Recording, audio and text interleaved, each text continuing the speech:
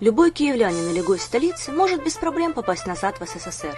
Достаточно посетить пивную номер один. Интерьер заведения выдержан в советской стилистике с элементами гротеска, затрагивающих приятные нотки ностальгических воспоминаний. Здесь вы можете увидеть вещи, которые наверняка были у ваших старших родственников. Граммофоны, печатные машинки, счеты, фарфоровые статуэтки, самовары и прочие предметы социалистического быта.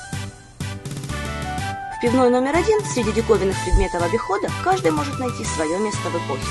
Тут тебе и революция с лозунгами и плакатами, и библиотека.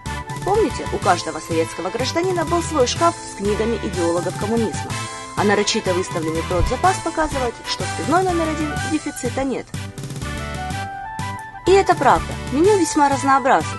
Вы можете отведать не только привычные пролетарские блюда, такие как борщ, оливье или вареники, но и изыски кремлевской кухни, например, радужную форель или говядину в вишневом соусе. А еще в пивном пабе присутствует самогонный аппарат, правда декоративный. Зато водка, хреновуха и клюковка в меню самые настоящие, а также большой выбор пива, как фирменного живого, так и привозного европейского. А обслужат вас здесь официанты-пионеры в тельняшках и пилотках. Также пивная номер один – площадка для выступления вокально-инструментальных ансамблей.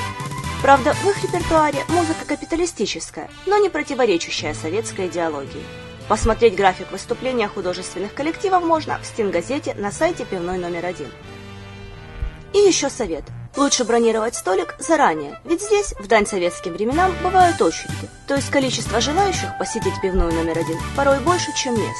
А все потому, что провести вечер в пивном пабе интересно не только тем, кто успел соскучиться по советской эпохе, но и тем, кто почти ничего о ней не знает. Благодаря таким местам, как пивная номер один, любой желающий может вкусно поесть, погрузившись в незабываемую атмосферу советских времен.